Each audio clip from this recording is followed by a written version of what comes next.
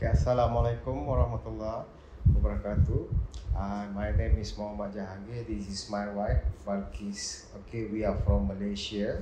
We came here on the 24th of April for uh, regeneration treatments. So far, as what we can see, we recommended this hospital. They give a very good service for this uh, the treatment that we go for 14 days.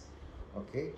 Uh, we feel better that whatever we have uh, go through the the process of the rejuvenations. And all the healing process is got, uh, done very well by the therapists and the, uh, the same time for the physios. All the doctors are very kind enough for to give uh, assist us to and consult us about uh, uh, whatever the things that we need whatever things that we supposed to do and they advise us on how to do some diets, exercise, and everything. We feel very enjoyed to stay here for two weeks, and we recommended this hospital to any others whoever wish to come to get the treatments. Assalamualaikum. I'm also from Malaysia.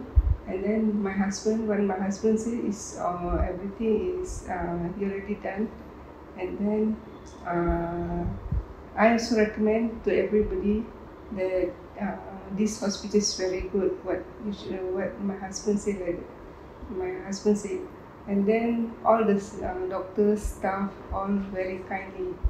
Okay, thank you. And we also like to take this opportunity to thank Mr. Osama, the CEO of the uh, company uh, Ayur Garden International Hospital, for his excellent uh, uh, and tremendous uh, leadership to bring this hospital uh, in future to become a very international well-known hospital. At last and not least, we would like to thank to the chairman of the hospital, uh, Ayur Garden International Hospital, Mr. Ahmad Al Shamari, for his uh, leadership for to this hospital, and we pray to the God Allah Subhanahu wa Taala, this hospital can be success under His guidance and leaderships.